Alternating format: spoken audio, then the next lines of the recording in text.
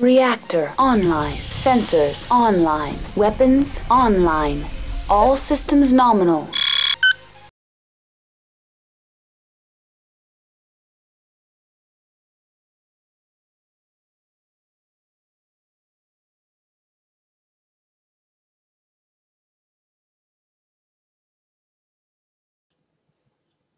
Greetings, MechWarriors. This is the help file and tutorial for Battletech Roster Builder version 1.0.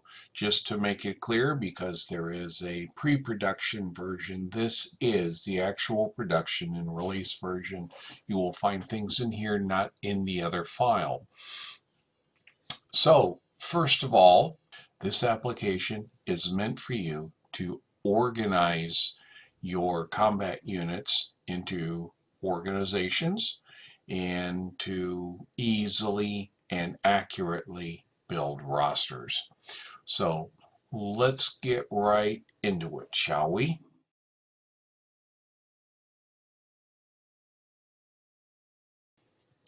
The first step is profiles. When you load a profile, it becomes the active profile and it remains the active profile uh, no matter how many times you run the roster builder until you change the profile. You can have an unlimited number of profiles, but only one profile can be active at a time. As you can see right here, Mark is the active profile and Mark has 63 units uh, in his various organizations. But what we're going to do is we're actually going to go through here and we're going to go through all the functions, which is a new profile, open a profile, edit a profile, and delete a profile. And then we'll talk about in another section manual check for updates. So when you create a profile, new profile, when you first run this application, you will also get this screen. So you put in a profile name. It can be your name, can be any any name you want, and we'll just say Bob here. Default roster size, uh, whatever roster size you want to build to most often is what I would put in here. For my case, I'm going to put 6,000 points. You can change all of the parameters here, the roster size, the variance, and the year of battle when you actually build a roster. So don't fret too much over this. Plus you can change it later. I'll show you that here in just a minute. So uh, your variance, as you well know in Battletech, you can easily be 500 points under or 10 points over. So I recommend a roster variance of 1%. Please always check with your prospective opponent, let him know about this and if you're going to be using it. On a 6,000 point list, 1% is 60 points. So the application will not complain if you are up to 6,060 points. Uh, the default year of battle, this is for if you're going to be using uh, any particular era, like pre-clan or pre-jihad, whatever. I just set it to 44, 44 because I like playing everything all the time. So once you accept this, yep, we'll get you a little window here. It says your profile is created and ready to go. Hit OK to start creating your organization. So next step in the profile is to open a profile. So we'll go ahead and we will open a profile it will give us uh, a choose a file window and I'm going to go ahead and select mark and I'm back to my 63 units. Once I've done this I can go down here and delete file and I can delete Bob. and it says this profile and all associated data will be permanently deleted. Press OK to confirm, and it's gone. So that is your profile functions. So the last thing I wanted to talk about in the profile menu is manual check for updates. If you select this, it will phone home to the Battletech zone and see if there's any updates to the master unit list or if uh, I've released a new version of the application. So when you click this, it will go out, it will find the information, and right here it says, I just checked with Comstar and you are up to date. Please check back in a month or so to check again. So yeah, I recommend you check about once a month just in case uh, I update the MUL. The master unit list is updated automatically when you select this option. Uh, it it's all invisible. But downloading the uh, a new app, that's up to you. It will open a web page and allow you to uh, download the app if you so desire. So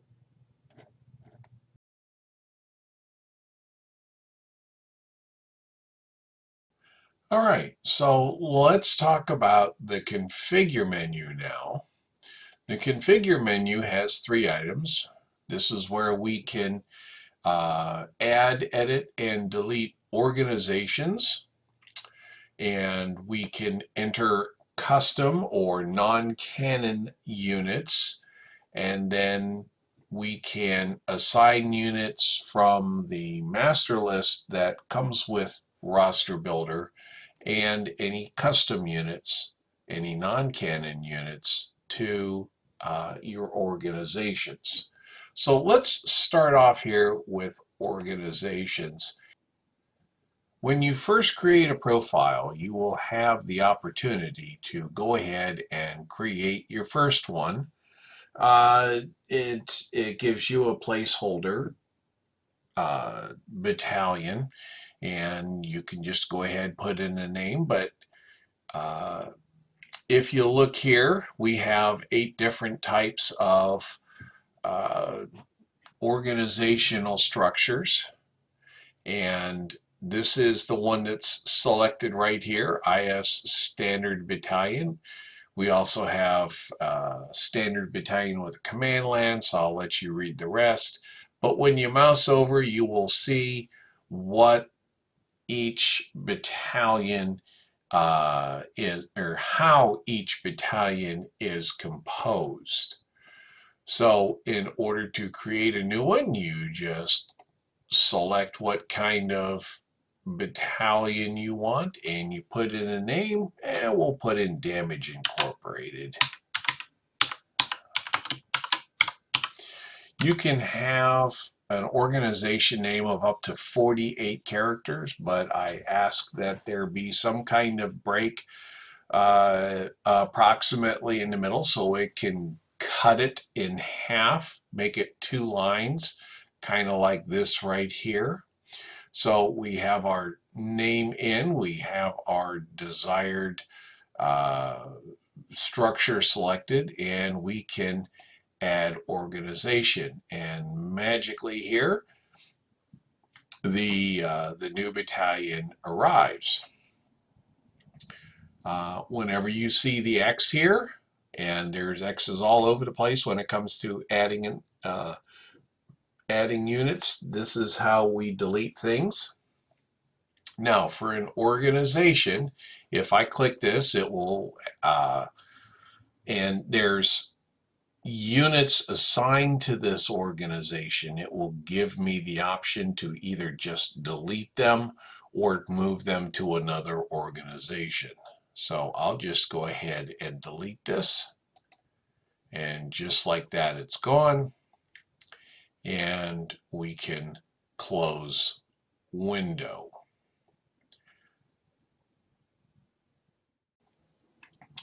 If you have a non Canon unit that you have created.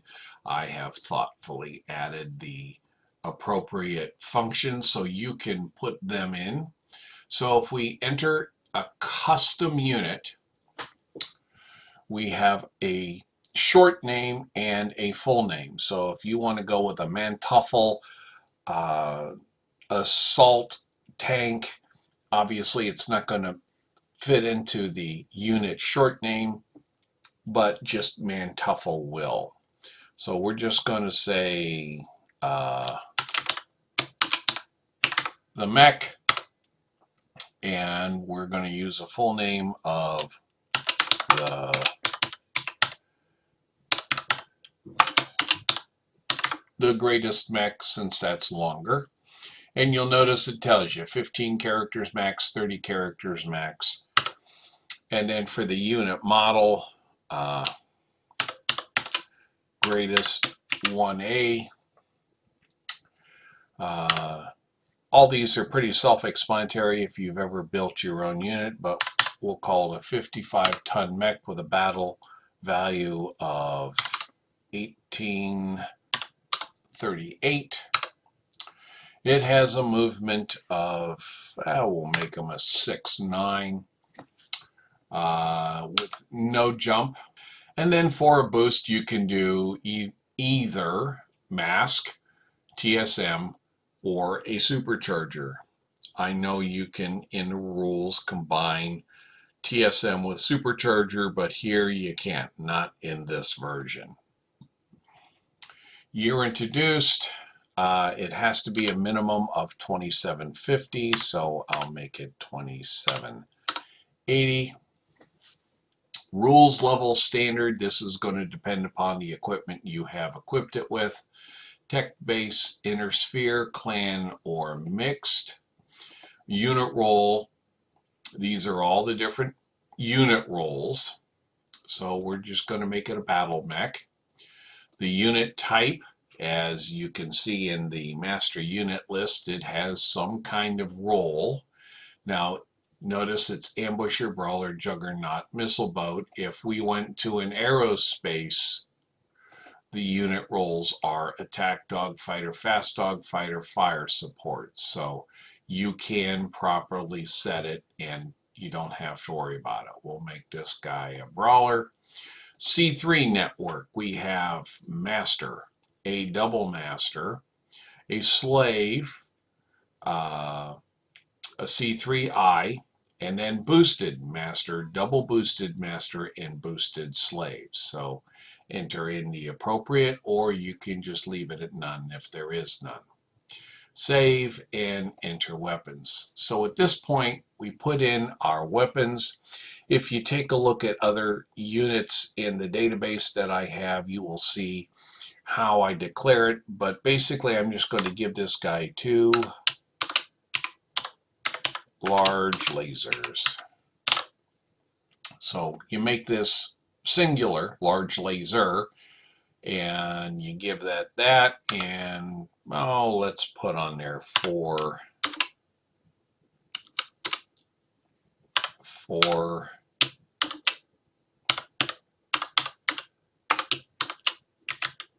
four medium lasers. Now, if you notice over here, it says custom unit data entry, all fields are mandatory. The accuracy of the data is your responsibility. I, I can't check this because I don't know things like structure and armor and, and what kind of armor. None of that is in here, so I cannot do a complete BV uh, calculation. So it's all on you. So once we save the new unit, it will let us know that we have successfully saved it and if we want we can enter more. In this case no. Now that we've got all of our units properly set we can assign units to organizations. Uh, you can have up to 10 organizations. So that's a lot of units and whenever you see this orange, this is the default unit. That is the first one. Uh, just because, and it will, whenever you enter a unit, it will always go to this. So please be careful. I'm working on keeping it to one unit in the uh, in the next version. So let's say I want to enter an atlas. So I can go atlas ATL, find this unit, and it will give all of the atlases that is in the database. And uh, all these units over here, these are the ones that are already entered. And as you can see, I have no atlases in here. This is all by weight. So we have locusts set to start at 20 tons, and we end up with a behemoth and king crab and an annihilator over here at 100 tons. So we don't see an atlas. So eh, let's go with an, oh, you know what? I don't know what all these do. So when we do a mouse over, it says this Atlas is a 100 ton, 2,153 point brawler battle mech with an Inner Sphere tech base that moves at 460 and has a weapon loadout of one Guardian ECM, one Rotary AC5, two SRM6s, and two ERPPCs. So I can click on that and it comes immediately over to here and again, we see the Xbox, not a game, but part of the game, and we can use that to take that right back out again. So we can also click over to the other organizations and it will give whatever units that are part of it. They're all set to different kinds, which is why you're seeing more boxes for some and less for others. So once we're done entering our units, and by the way, if you collected, or if you have custom units, they will, that meet the criteria that you've put in the search box, they will always be the first mix here. So once you're done with this, you can go ahead and hit close window.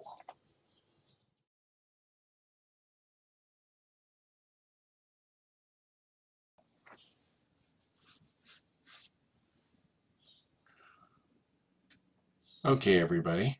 Now that we have set our profile, we've set our organizations, we've added units to our organizations, now we come to the final and uh, most important part of the Battletech roster builder, and that is to build rosters. So we come over to the roster menu and we can create a roster, new roster. We can reprint an existing roster or we can delete an existing roster. So let's go ahead and go with a new roster. So uh, here are our defaults, roster size, variance, and year of battle. Uh, I'm going to bump this up to 12,000 points just because I'm going to be doing some big stuff. Uh, your default rules level is standard and we can set our uh, rules level. These are all filters to determine how many units we're going to have uh, in our pool to draw from. We can also select or deselect any specific kind of combat unit. Um, and then we can also select or deselect any uh, organization. And if you notice these numbers here, this is the number of units in each organization that you have. Once you have set these the way you like them, you come down here to step five and you generate the unit pool.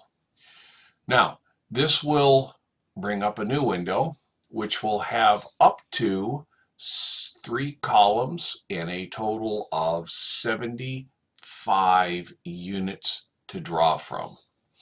So And if you notice, we have some in green, some in blue, some in purple.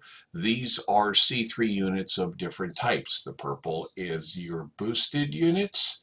The blue is your improved C3 or C3I, and the green is your regular uh, master slaves.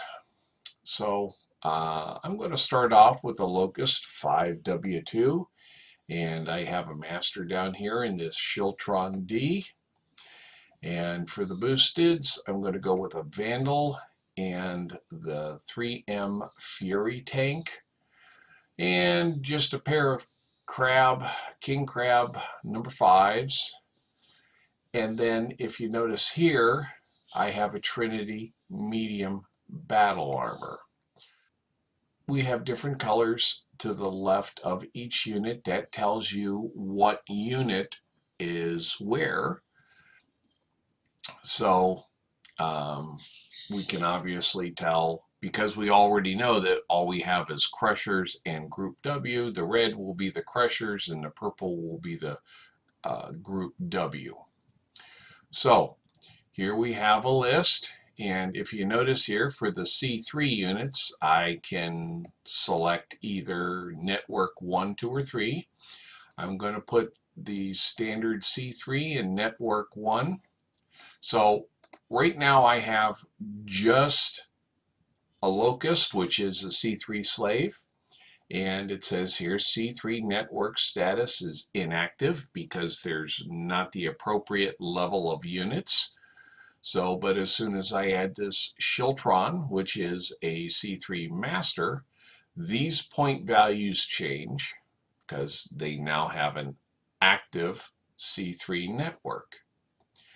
And I'm going to do the same here. I'm going to throw the boosted C3s into network 2. Again, these change once there is an active network and we now have networks 2 status.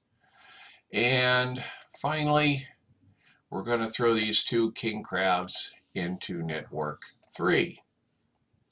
So, again, network 3 status is active because we have at least, we have between 2 and 6 C3Is.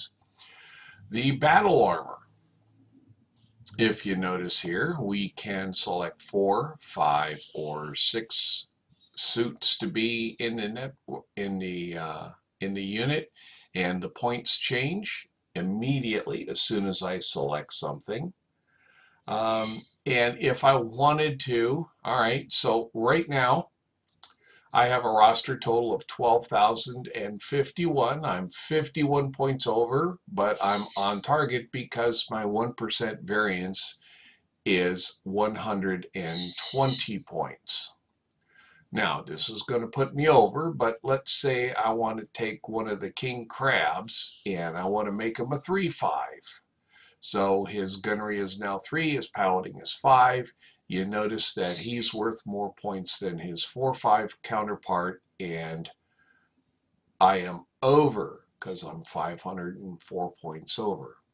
Now, watch down here, right here in this bottom right corner. When I take the king crab back to a 4-5, the roster status says on target. This means it is somewhere between 90 and 101% of the roster. And that means that you can print the roster. So, so sorry about the birds.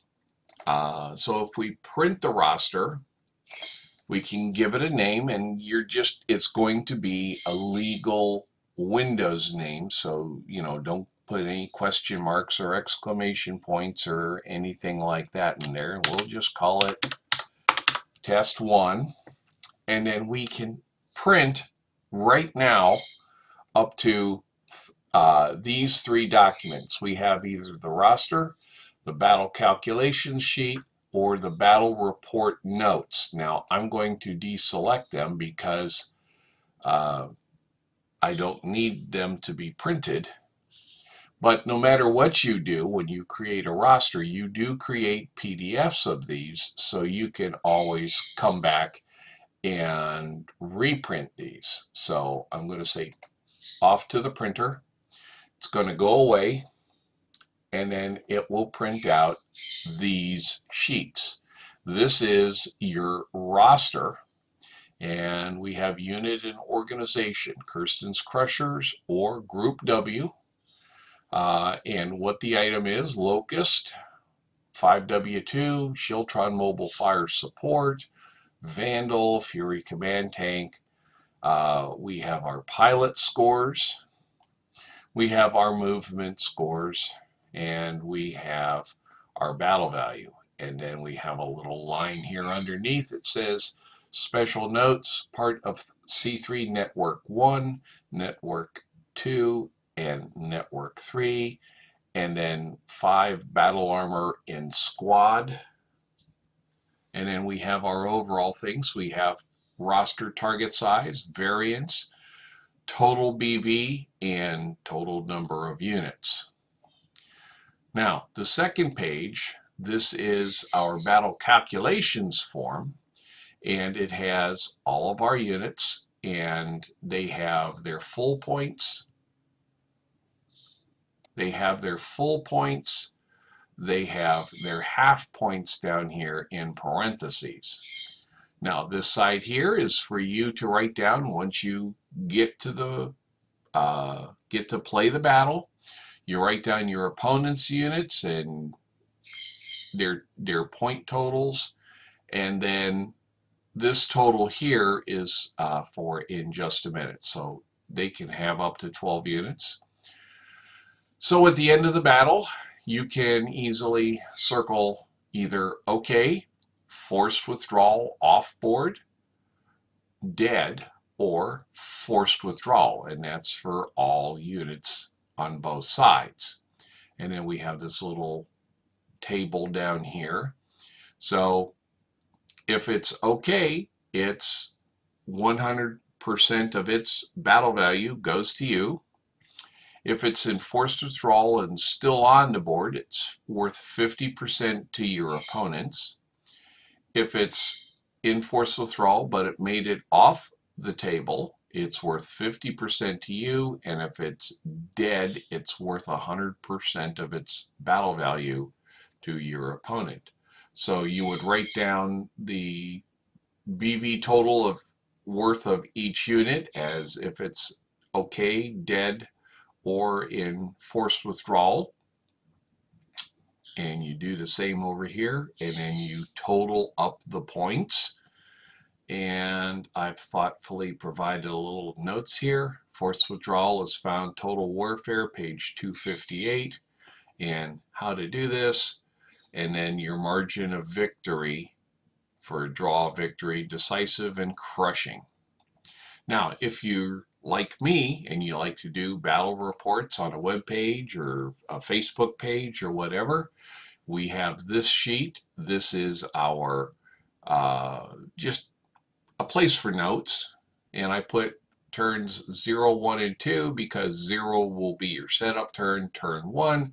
Most times nothing happens as far as units getting killed or really uh, and then turn two, things start happening. Turn three, turn four. And then we have turn five, turn six, turn seven, and you can turn it over for additional turns or additional notes. So that is your printed output.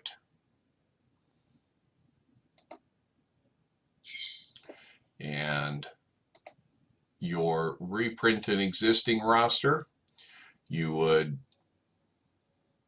click on this, click on the unit you want to reprint, and uh, go go from there. You can select what you want to print.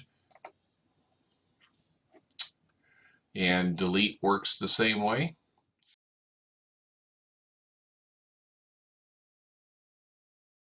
The help section uh, if you click here, it'll bring this video up uh, about send feedback. Send feedback means you can write me, tell me about bugs, tell me about features you want to see, and uh, I will get it, I will read it, and this is this and updates are the only time this application transmits. And if you notice, I have no place for your email address, so if you want me to contact you, be sure to include your email. And then the last two is legal and data privacy. I will let you read those as you desire. And that is the end of the tutorial. I hope you enjoy it. If you send me bug reports and I confirm that they're actual bugs, if you send improvements, suggestions, and I use them, I will, uh, in both cases, I will uh, credit you, put you on the roll of heroes for uh, the roster builder, and uh, your name will be up until as long as the Battletech zone is. So thank you all. Have uh, a great battle. May you always win. And just remember, the object of the game is to win. The purpose of the game is to have fun. Have fun.